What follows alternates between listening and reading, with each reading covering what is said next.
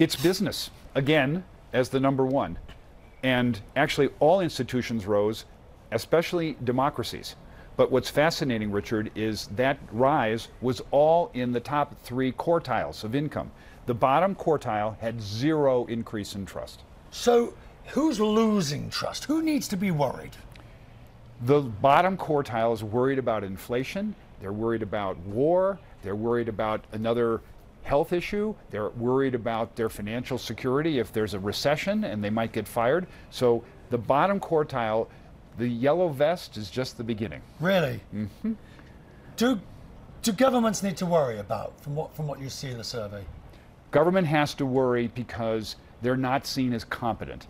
The big change is 50 point delta between business and government. Therefore, business is being asked to do all these things in societal issues such as diversity and inclusion or sustainability etc. But you'd think government should lead. Right, but is business being asked now to do too much? Is it overweighted and buckling under the strain? And I'm thinking here of Florida, Disney.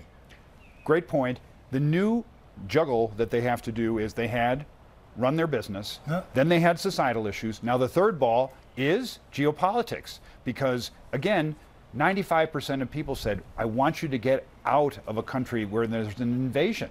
So get out of Russia, and big trust reward for companies that got out, big trust down for companies that stayed. But geopolitics is a broad definition. So now it's repressive governments or human rights and all these new things. So you're right, the imperial overstretch of business might be here.